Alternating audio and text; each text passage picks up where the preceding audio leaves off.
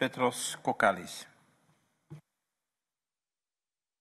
Thank you, Mr. President, and thank you, Mr. Timmermans, for this always useful discussion. Uh, this Fit for 2030 package touches almost every aspect of Europe's economic life, and perhaps it's the main tool for the transformation to a fair, climate neutral, sustainable energy and resource efficient community uh, economy. In, uh, in doing so, we must not only ensure that no one is left behind, but bring forward the millions left behind today who are exposed to energy poverty and the wild volatility of fossil energy prices. So, as you frequently rightly say and repeated today, the transition must be socially just or it will not work. And I'm sure that you will know that the top income 10% are responsible for 48% of emissions, while the bottom income 50% for 12% of emissions. We believe that this highlights the relationship between tax justice and climate justice raised earlier by my colleague from the Greens.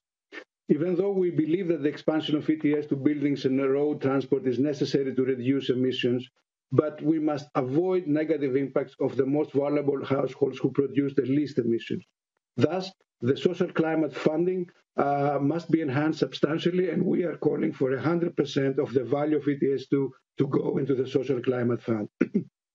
the fund must be targeted towards structurally eradicating energy inequality by investing in renewable energy and efficiency infrastructure in the communities that can least afford it, including public infrastructure, housing, and transport instead of allowing it to be used up as yet another indirect fossil fuel subsidy, as it is apparently happening now with member states using this extra 11 billion euro extra ETS revenue you referred to previously to compensate low-income households who will then use this money to pay for the fossil fuel bills that have led to record profits for fossil energy providers.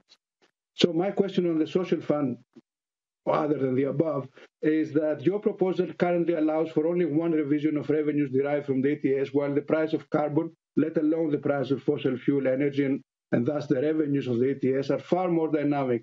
Should not there be a closer, more frequent correlation between revenues and the funding ability, and how and what's that implication in terms of our budgeting committee?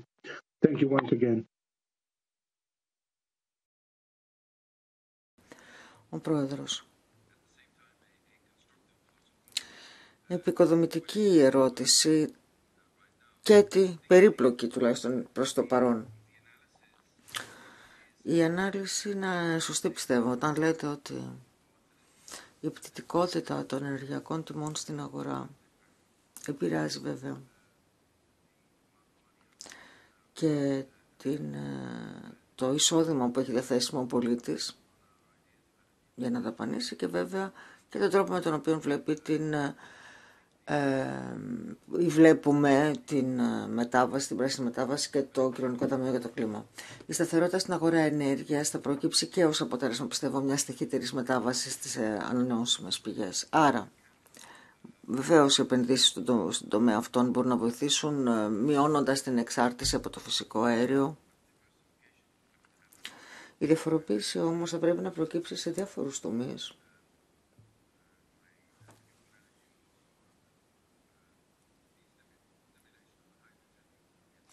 Και με τις ανανεώσιμες και με την υποστήριξη του, της ενέργειας από το υδρογόνο. Όταν λέτε πώς θα συνδεθεί αυτό σε ένα ειδικό σύστημα ETS μαζί με το κοινωνικό ταμείο για το κλίμα.